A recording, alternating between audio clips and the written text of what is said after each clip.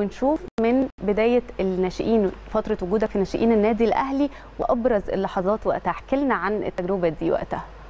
لا يمكن أكيد أنا بدأت زي أي حد آه، آه، كنت أنا أصلا من من بني سويف وبدأت من وأنا صغير كنت في- ناشئين بني سويف وبعد كده زي أي حد خدت تجربة إن أنا أروح اختبارات النادي الأهلي والحمد لله ربنا كرمني وقدرت أبقى موجود في في ناشئين النادي الأهلي. طبعا سنين كتير بقى في فترة الناشئين آه، مريت بالحمد لله بمواقف كتير كويسة آه، لغاية ما ربنا برضو كرمني وقدرت اتصعد مع الفريق الأول في وقت كان كان ال- ال- الفريق الأول كان صعب قوي وقتها يا كابتن محمد إنه حد يطلع. الفريق الأول. يعني يمكن قبلك كان كابتن عاشور آه. وبعدها مثلا سنة أو سنتين كان كابتن أحمد عادل عبد المنعم. لا أحمد كان طلع معايا. معاك آه يعني طلعنا مع بعض. آه. لأن أحمد أصلا من قدي أحمد إحنا كنا في نفس الفرقة وإحنا في في الناشئين. عاشور أكبر آه. مننا. ده كان بعد عاشور بسنة آه. أو سنتين. آه طلعنا تقريبا بعد عاشور بسنة أو سنتين.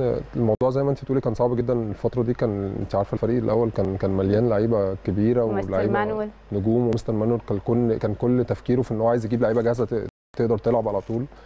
آه، يعني برضو خلي بالك هو إحنا يعني حالتنا التوفيق بشكل كبير جدا إن إحنا نبقى موجودين في الفريق الأول. الموضوع كان فيه توفيق كبير. يعني عاشور آه، مستر مانويل كان بيتفرج على فريق ال 20 سنة. كانوا هم له في النادي إن هو يتفرج على أربع خمس لعيبة معينة مش. من ضمنهم عاشور. الوحيد اللي اختاره في بعد الماتش قال لهم أنا عايز رقم. كان عاشور بيلبس أربعة قال لهم أنا عايز رقم أربعة ما كانش الوحيد ما كان- ما كانش عاشور من ضمن الناس اللي هي مرشحة أصلا.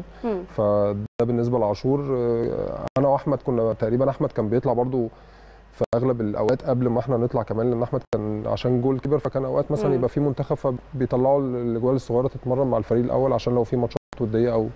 أو تمارين يبقوا موجودين. فأحمد كان على طول بي- بيطلع. جت برضو الفرصة بالنسبة لي ان الفريق الأول كان حسم الدوري وكان كان فاضل ثلاث ماتشات على الموسم ما ينتهي. فمستر مانويل خد إجازة وإدى اللعيبة الأساسية إجازة والكابتن حسام البدري اشتغل باللعيبة اللي هي بقى لها فترة غايبة عن الماتشات. وطلع مجموعة ناشئين كنا تقريبا في حدود 10 ناشئين. مم. و- والكابتن حسام قال هحاول أدي فرص للناشئين لو في حد كويس يعني. فالحمد لله أنا الوحيد اللي لعبت.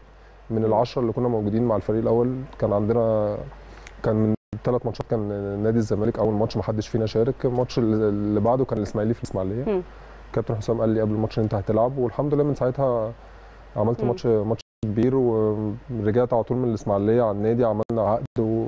ومن ساعتها وأنا موجود مع الفريق الأول. مستر مانويل برضو لما اتفرج على الماتش الحمد لله اتكلم عليا بشكل كويس. ولما رجع طبعا بدأت معاهم فترة إعداد فكملت مع الفريق لعبت الأول. كتير وقت وقت مستر مانويل جوزيه كنت بتشارك كتير. آه يعني بصي يعني أول سنة تقريبا ممكن مشاركتي كانت قليلة. مستر مانويل اتكلم معايا قال لي انت لسه صغير ومحتاج تا- تاخد خبرات ومحتاج تتعلم حاجات كتير.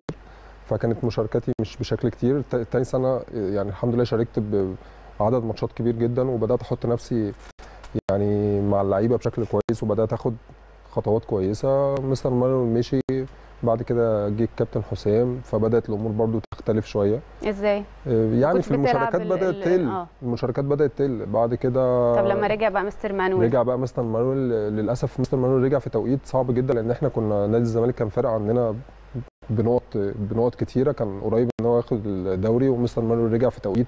الفرقة ما كانتش في حالة اتزان وكنا زي ما بقول لك بعيد عن نادي الزمالك في في, في الدوري. فهو حب برضو إن هو يلعب أكيد اللي جاهزه حتى هو جه يتكلم معايا رجع آه بالظبط آه. كنت لسه اسالك لا هو جه يتكلم معايا طبعا هو استغرب جدا إن أنا بقى لي فترة. آه يعني هو بيقول لي أنا سايبك سايبك واخد ماتشات كتير السنة اللي أنا مشيت فيها وخلاص أنا قلت أنا هرجع الاقيك من ضمن الناس الأساسية اللي موجودة في الفرقة وبالذات إن السنة اللي هو مشي فيها مستر مانويل في لعيبة كتير في خط الدفاع بدأت تعتزل يعني كابتن شادي محمد مشي من النادي. آه، كابتن عماد النحاس ات- ات- اتعور واعتزل ما كانش في غير أنا وكابتن وائل جمعة وكابتن أحمد سيد مم. كان موجود برضو يعني كان أنا بتكلم إن إحنا إيه مم. بدأ العدد يقل فبدأت الفرص تبقى أحسن يعني مم. فهو استغرب فقلت له وجهة نظر الكابتن حسام إن أنا ما يعني هو بيعتمد على ناس معينة. ودي وجهة نظره وبعدين كنا كان أيام مستر مانويل كنا بنلعب بثلاثه ورا مع الكابتن حسام بقينا بنلعب آه. باثنين فالعدد أصلا already قل. واحد فبقت الفرص بالنسبة لي قليلة بدأت أخد ماتشات على الفترات فهو لما رجع آه، طبعا هو كان مضطر إن هو زي ما بقول لك يلعب الناس اللي جاهزة عشان يقدر يجيب فرق النقط ما بينه وما بين نادي الزمالك والسنة دي فعلا قدرنا نجيب نادي الزمالك وقدرنا في الآخر إن إحنا ناخد الدوري. آه بعد كده خلصنا بقى أنا حسيت إن أنا بقى لي برضو إيه يعني الأمور بالنسبة لي إيه مش كويسة وأنا مش حابب أقعد ف وبعدين شايف زمايلي اللي هي كتير آه، بيطلعوا إعارات وبيشاركوا وبيكتسبوا خبرات أنت كان أهم حاجة عندك وقتها. إنك تشارك آه. إنك تلعب آه